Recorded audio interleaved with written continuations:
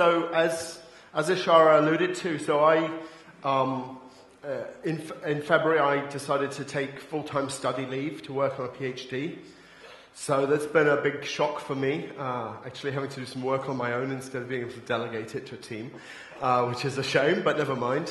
And um, what I'm going to talk about today is privacy and security of the Internet of Things, and particularly focus on, on how identity of things is really an important aspect. And, and I hope you find this useful. So, I guess the first question we have to ask is Does it really matter? Do I care if my Fitbit data gets out on the internet, for example? You know, does it, is this important? And, and of course, Dilbert always has a take on these things. Um, which, you know, he has his own unique angle on this stuff, which I always think is funny. Um, you know, uh, you have to give him more work. He's, his Fitbit says he's not stressed enough. Uh, but more importantly, this is, this is a real screenshot from 2010 uh, where people were, you could find them by Googling sexual activity, fitbit.com, and, and identify people based on their sexual activity, uh, which you may the, the people in the room next door to me were, were not afraid of their sexuality last night at 3 a.m., um, which I didn't get much sleep. But, but on the whole, I wouldn't really want that information advertised. Uh, sorry, Isabel. I promised I wouldn't mention that. But, um, so, so I think, I think it matters. The, the rules, I, I think IoT security does matter. And I, and I have three basic rules. Don't be stupid, be smart, and think about what's different. What do I mean by that? Well, don't be stupid is, is a lot of people seem to be remaking mistakes that uh, anyone who's been in the internet and done sort of any internet security for a website for the last 10 years would think are the most dumb basic mistakes. And people seem to be doing that anyway. And then, of course, you, you do have to be smart. So you have to take the very best available uh, systems, practices, that are available out there because you know the hackers and, and people who are trying to abuse this are definitely going to be using the best available technology to try and break you. And then finally, what are the unique challenges about the IoT? What makes it different? Why is it? Why are there? Why, why is this just different from ordinary web security? And I think if you consider those three things, then you, you start to, to really dig into this. And in the, in the thing of don't be stupid, this is a, a great example. This was in the, in the press about uh, a year ago. Uh, basically, a researcher found that a fridge was sending spam out. This researcher, she, she basically contacted the IP address where her spam was, she was being spammed from, logged in on port 80 and it turned out to be a Samsung fridge or some kind of fridge. I can't, I, I may be maligning Samsung, but you know, it had a sort of fridge-like web console. And, and it turns out they put a Linux system in here with, uh, with no security, SMTP, port 25 wide open, SendMail running, and someone has taken advantage of that to send spam out. So, you know, the, the sort of most basic things about putting in a firewall, not using uh, unneeded services had been forgotten.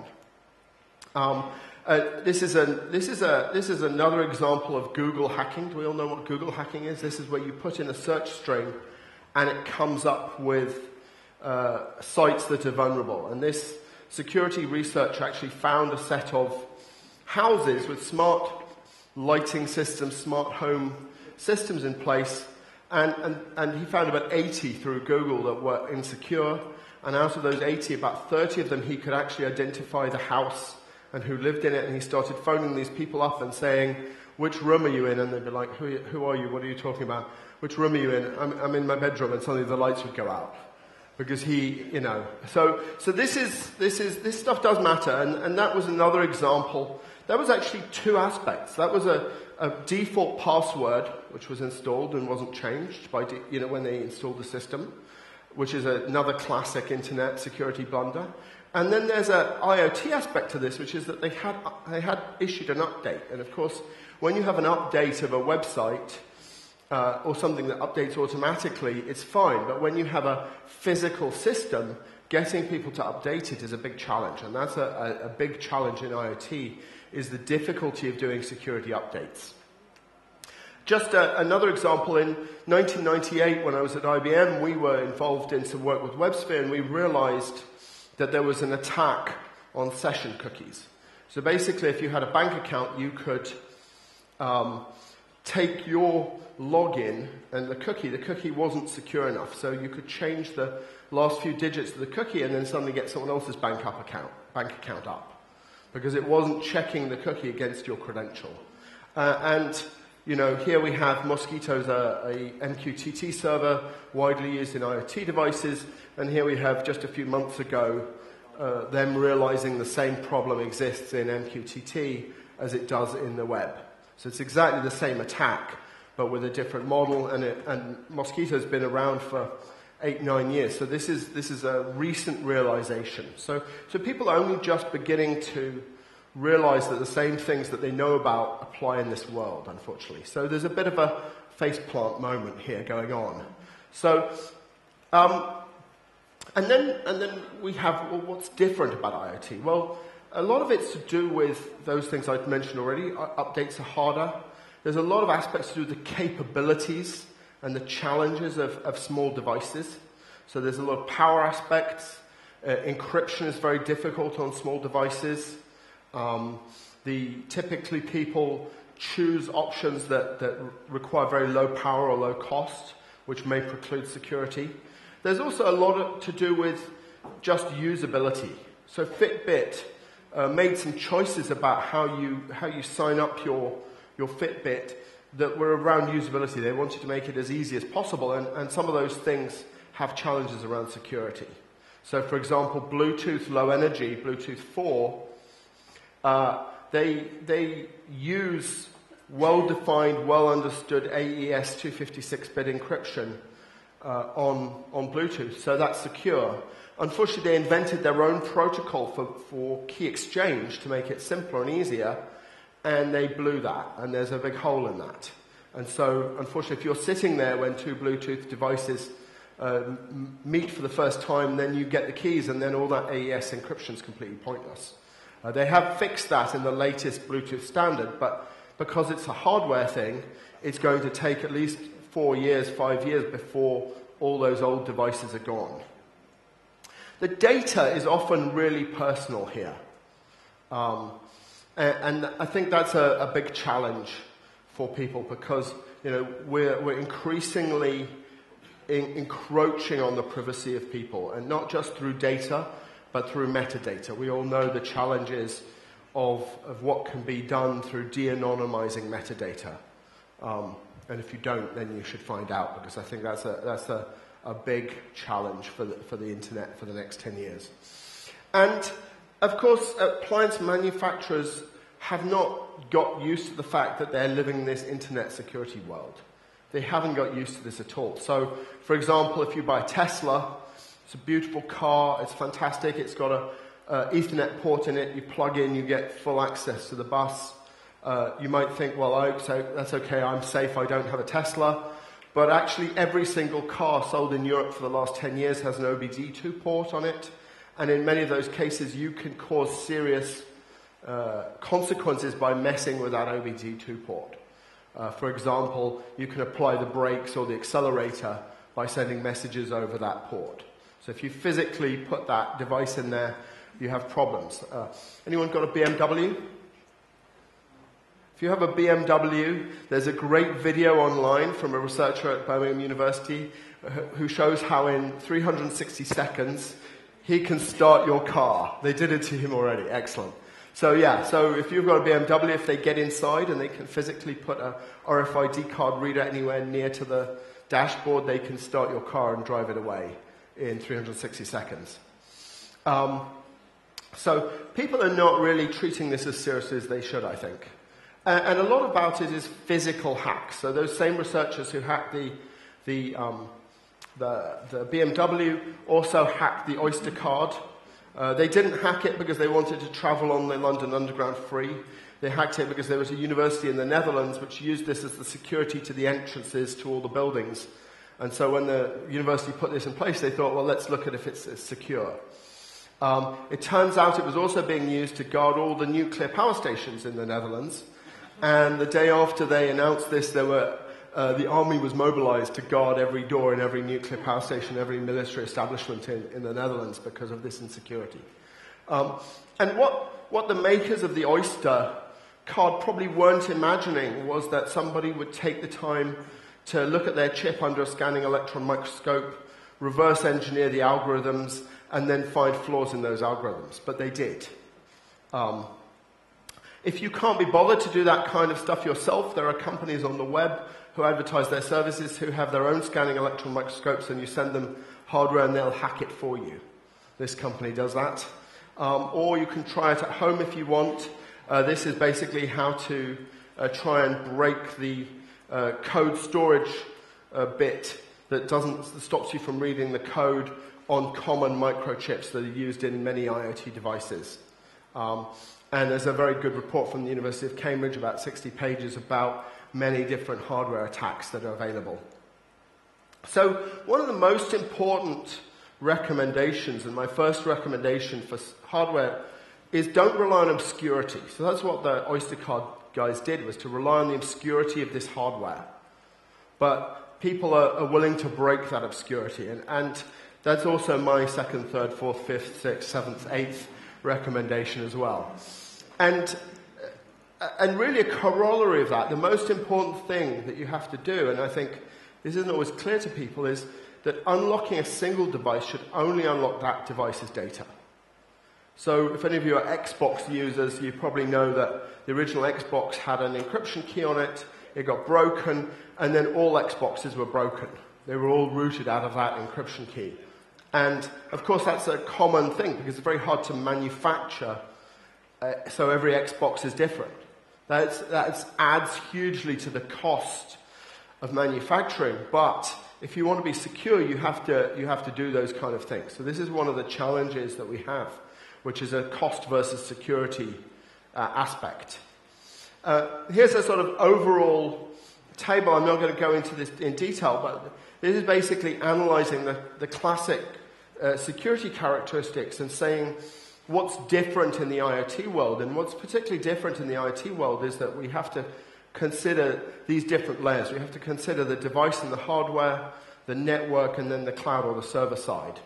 Uh, and of course, some of these things are just, you know, as normal as usual, but then there are many new challenges when you look at this matrix. So uh, I think one of the problem statements we have here is that a lot of people who are building IoT devices don't really believe in this top statement that consumers, not companies, own the data. So the, this is a really important question: is who who owns the data from your Fitbit? Is it you or is it Fitbit? Who owns the data from the Uber app on your phone? Is it you or is it Uber? So I, I think this is a this is actually quite a challenging statement from from Limor Fried. Uh, and, and, and, this is not at all the current belief amongst the industry at all, but I think it's a, it's a very challenging, important way to look at it. And, and then a second statement is from, from a professor called Cavoukian in, in Canada, and, and she has led a thing called Privacy by Design. And this is really what, if you were in the identity server talk this morning, uh, and Johan was talking about the, the new standard called UMA, user managed access. This is really what user managed access is trying to do. OAuth 2 is also doing this, but to a lesser extent, and OpenID Connect. But basically trying to say your controls should be in your hands. So it should be up to you to define how uh, these, how this data is shared, how it's used, and so forth. And unfortunately, that is also not the case in many, many aspects. And I, and I think that word effective is really important. Because this is actually really challenging. How do you, how do you give your, your mother or your father uh, or your brother who may not be as technically savvy as you, how do you give them controls over their data so they really understand this and know how to use this? So, you know, the, the, there's lots of studies, for example, that show that, you know, when people put their, you know, when they install an Android app on their phone and it pops up that list of things this app can do, they don't ever look at it to see whether it's, it's valid or not. Why does this flashlight need to make calls on my behalf? Is not a question that goes through their head. Um, and so effective controls is really hard. This is a, this is a really challenging area of, of user design. So what is this privacy by design concept? And I, I, don't completely agree with all of these, these points, these seven points from the, from the privacy to, by design movement, but I, I think the concept it, on the whole is really important. So the, the first and most important thing is that most of the IoT security I've seen has been reactive. You know, people have been uh, solving problems when they come up. And I believe that we're going to see over the next six to 12 months a lot more of these Fitbit type scandals coming out uh, because uh, there's a huge untapped mine of, of, possible hacking to be done there. And, and that's because people are, are, being reactive. They have not proactively thought about security enough in the design of their systems. Uh, the second idea is that privacy should be the default setting. So the default setting should be if you want to share data, you have to actively say, I want to share this data. It shouldn't just be shared like the Fitbit one. So that was a perfect example of this. Uh, they were putting up information that users probably didn't want by default, and then you had to switch it off. Uh, and then how do you achieve that? Well, you embed the privacy into the design. So you start thinking about it from day one. Um, this next one is kind of challenging. This is trying to saying that, that somehow you do all this and you can be just as functional and just as powerful as if you don't do that. And I, I don't really believe that. I think there's always a trade-off with security. There's either a cost trade-off or a usability trade-off or something. I mean, we never have pure 100% secure answers here. We are always trying to get some balance. Uh, and that, that's a really important thing to bear in mind. I mean, if you force a user to memorize a you know, 64 character password with lots of different random strings in it that has no fragments that can be found in a dictionary, you might think that's going to be more secure. But of course, it's not going to be more secure. They're going to write it down on a bit of paper. Uh, and so, uh, and they're going to have that bit of paper out for about five minutes while they try and type this in effectively on view. You know, so, so security is a balancing act. It's not a, it's not a, it's not a, a, a pure yes or no answer. But I think trying to aim for this is a good thing. Uh, certainly, end to end security is really important. Uh, not just protecting the Fitbit when you're in the vicinity of the Fitbit, but protecting your data when it's on the web. Uh, and what's the life of that data over the next 20 years? How do I know what's happening to that data in the future? Of course, at WSO2, we massively believe in openness, and, and we've published you know, open promises not just about our software, but about the, the data that we use in the cloud and, and our cloud systems. And visibility and transparency is absolutely vital to this. You can't, you know, if you're not transparent about your privacy, how do you know what's happening? Uh, and finally, this concept of keeping it user centric. So I think these are all good principles uh, to some less or greater extent. So, if you've been following this, Google announced at their I/O uh, developer conference about five days ago that they are jumping into the Internet of Things and are going to be uh, producing a IoT operating system uh, called Brillo, um, which is basically a very cut down version of Android. And they've announced a new, it's not clear whether it's a protocol or a schema or, a, or some combination of the two, called Weave. Uh, they didn't mention security at all in their, in their announcement. So I don't know whether they've applied any privacy or design or not, but they're certainly not being open and transparent yet. We'll see, we'll see how they come out in the future. This is still early days. But I think, you know, I have certainly seen, you know, there's a lot of IoT standards out there, a lot of people, Thread and AllJoyn and all sorts, uh, coming out with new security models and new IoT standards, and, and a lot of them are thinking at certain parts of the stack. So they may be thinking, how do I secure the wire protocol? How do I encrypt this? But I don't see a lot of people really trying to pr- provide that end to end privacy by design thinking across the whole stack. And there's a saying that I learned from Prabath. It's, it's been common in the security industry for about uh, three or four years now that identity is the new perimeter. And this is absolutely vital in the IoT world. So a lot of security in the past relied on perimeters.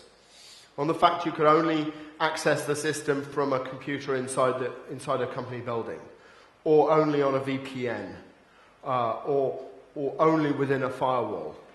And unfortunately, those, those truths are no longer true.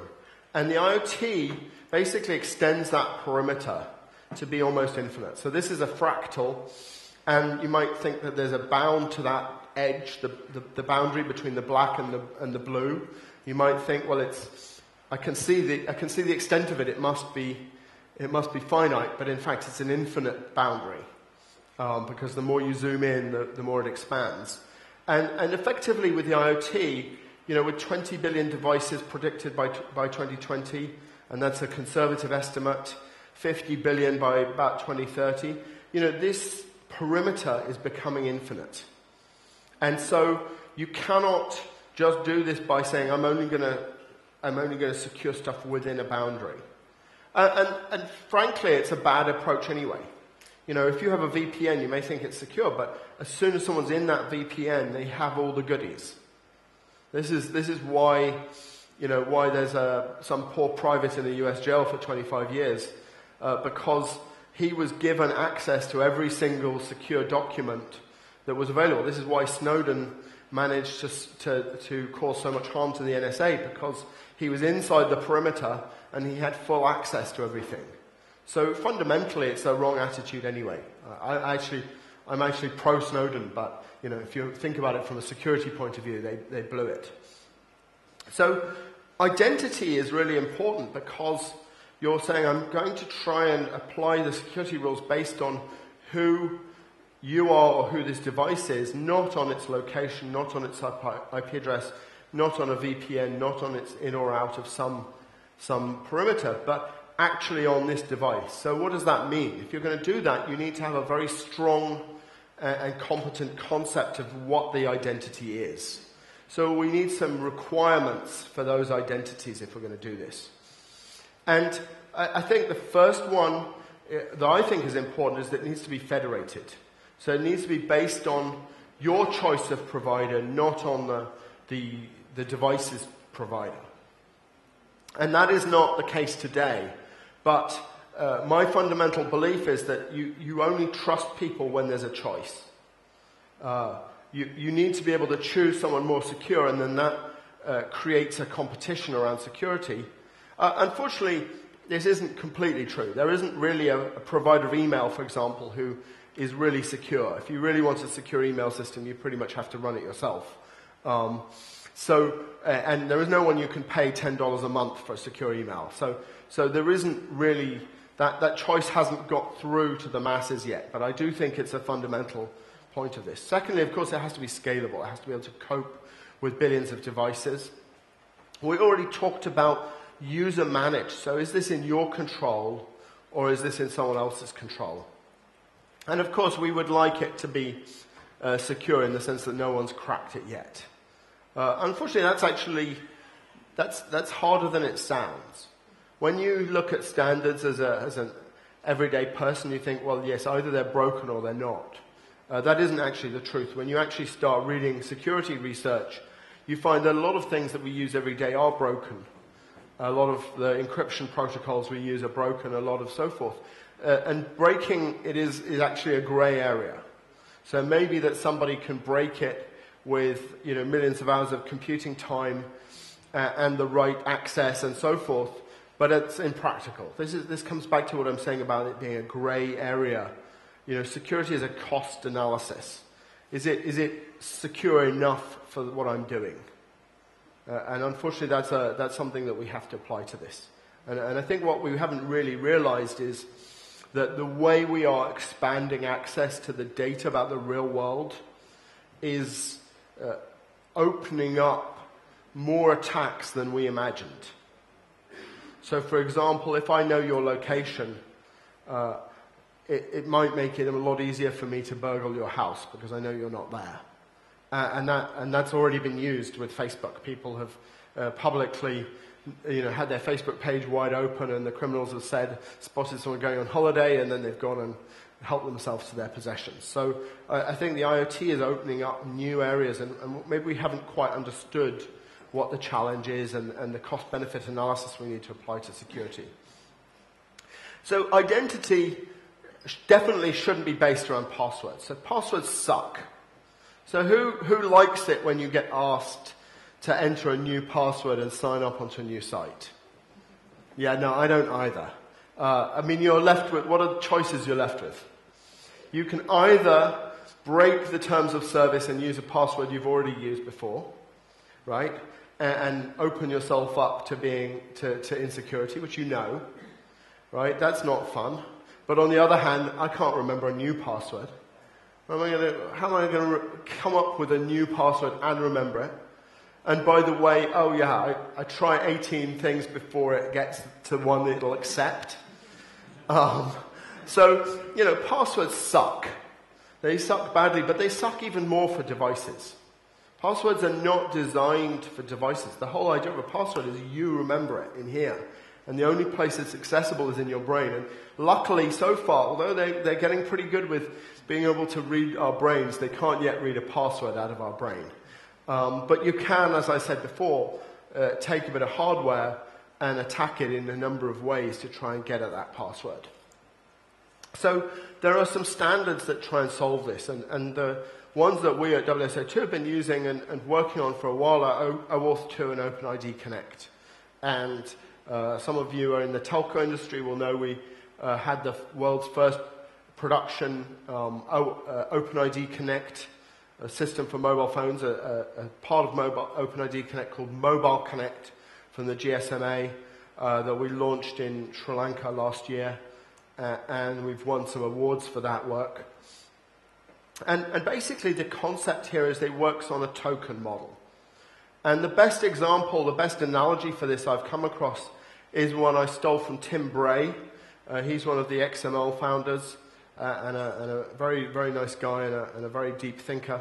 And, and, he had this concept is just like the token you get from the hotel. So why is that? What, is the point of this token? Well, the idea is that it's revocable. So if you lose that token, uh, you don't, you, you know, no one can get in your room. You go to the front desk and say, hey, I lost my, t- my token, and they revoke it. It has some time bounds. So, you know, I, my stay at this hotel ended today, and if I try to use my key now to get into the room, it won't work because it's after the checkout time. Um, it has granular access. I can only get into room 532 with this card. I can't get into room 531 or 533. Um, so, so these are all important aspects of tokens that make them much, much better than passwords, and particularly for devices. Because the way you need to think about a device is that I am I'm the owner of this data, I am the owner of this system, and I am giving it some permission to do what I want on my behalf.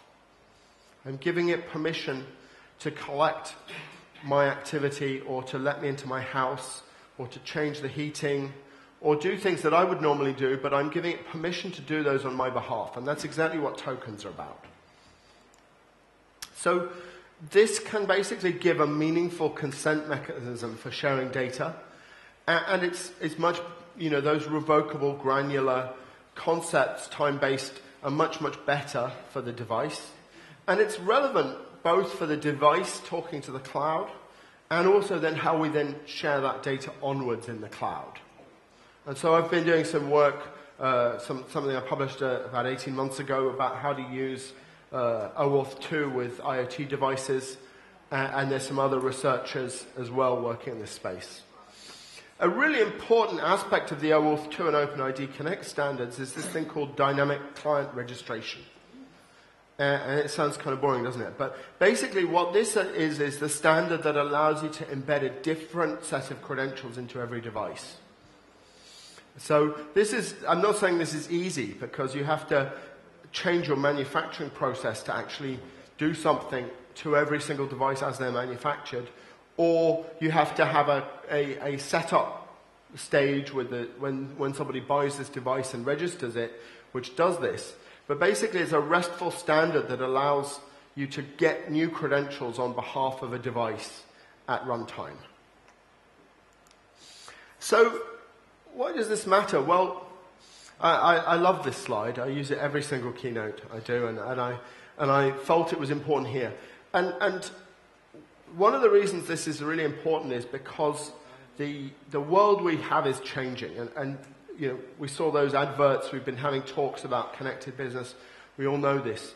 The connections are getting deeper and wider in, in the web world all the time. And this, this really charts the shift we've had in organizations from uh, organizations doing everything themselves to value webs, to basically ecosystems of, of communities and companies working together to solve problems. And I, I don't feel we're really there with the IoT yet.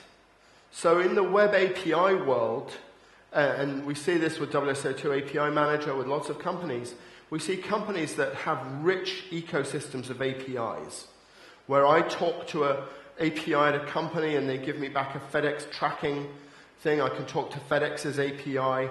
They may be using FedEx's API and a payment API. There's a, a rich set of ecosystems of different APIs working together to solve a single business problem. At the moment, most devices are really only talking to the mothership. You know, my Fitbit's talking to my Fitbit server, my Nest is talking to Google. You know, they're just talking to the mothership. And, and I don't think that that's the right answer. Firstly, it's limiting. Uh, we're not getting the richness of IoT that, we're go- that we can imagine. But secondly, uh, it, it ties me to that mothership in an unacceptable way. I want to federate that so that I get access to my own data and I'm more in control of it. This is an IoT device that was launched in London. It's a London company a, a few years, a couple of years ago called Little Printer. It's the delightful web-connected printer that lives in your home, and it's really sweet. You're, you can leave it on your kitchen table, and you can send a little printed-out message to your wife or kids or whatever. Delightful. Well, goodbye, little printer. Hello, little brick. Because unfortunately, it didn't work. And this, the company behind the device has gone out of business. Um, they announced this about six months ago, and they said that, you know, as of March, uh, your little printer would be no longer useful. Uh, the CEO actually is, is, a pretty nice guy, and he's got another job, and he's spending his weekends trying to fix this on his personal time to get them some really basic functionality so their devices aren't completely dead. He managed to scrounge a couple of uh, K from some, some friends so that he could keep the servers running for another couple of months while he hacked this up, but fundamentally, you know, that's, that's his goodwill and, and the fact he's a nice guy and he feels bad about this. But the reality is that a lot of these devices, you're going to be reliant on the, on the cloud service for these devices because they're not federated. There's no, there's no standards for, for how they talk to the back end. It's a private relationship between this device and the mothership.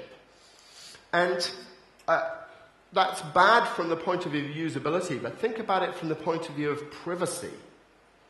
Right? Should your privacy be reliant on, the, on this manufacturer?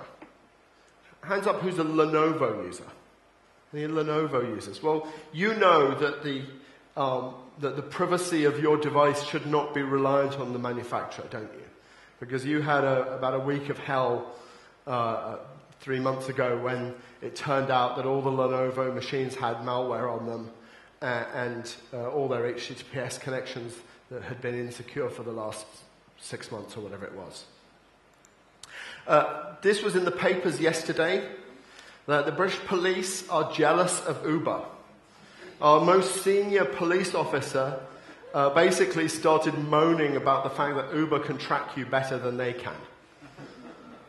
He, he made it sound very, very nice. He's like, you know, when, when the 999 call comes in and you're in an emergency, we don't know where you are. He didn't mention that, you know, all the other times he'd like to use this. But, uh, but it turns out that Uber has this thing called the God View. So anyone heard of the God View from Uber? And, and their, their employees were using this to track ex-girlfriends and all kinds of things and potential girlfriends. Basically, follow you around San Francisco, whichever city you're in, based on your Uber app.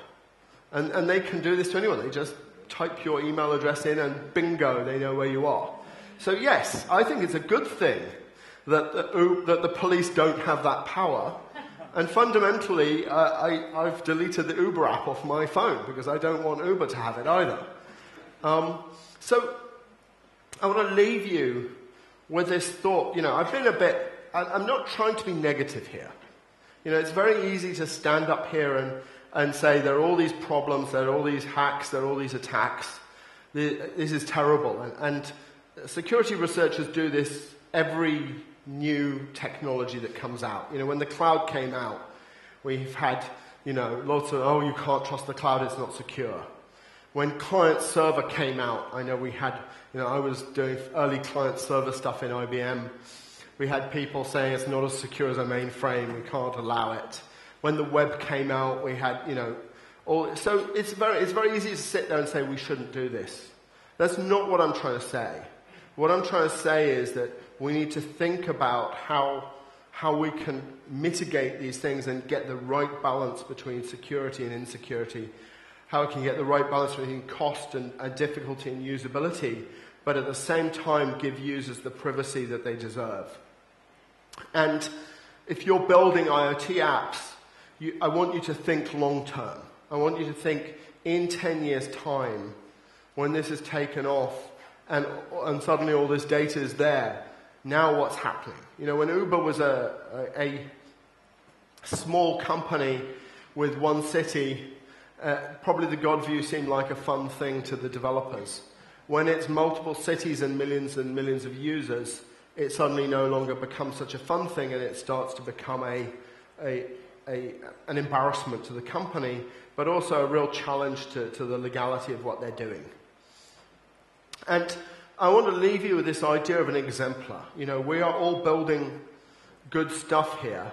We are all building the latest, best connected world applications and so forth. And I think that we have a duty to uh, try and share that and try and come up with the best available concepts of how to provide privacy and security for IoT.